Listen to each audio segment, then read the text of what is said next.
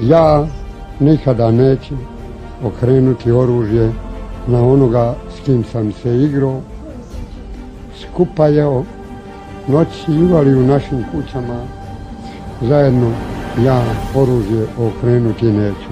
Ali sam uvjeren da ni on neće na mene. Jer pazite, Islam ne odgaja ljude da budu ovakvi kakvi su tamo. Ovo što tamo rade pod muslimanskom kapom, to je muslimanski ološ. Jedan čestiti musliman. Neka se drži svoje vjere onakva kakva je. Jedan čestiti katolik.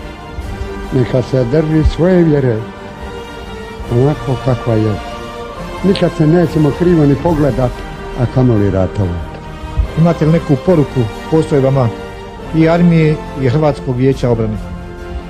Imam Hrvatskog vijeća obrane. Ja vas molim, djeco naša, suzdržite se,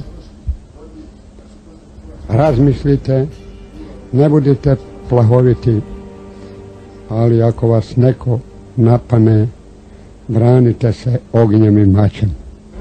Hvala.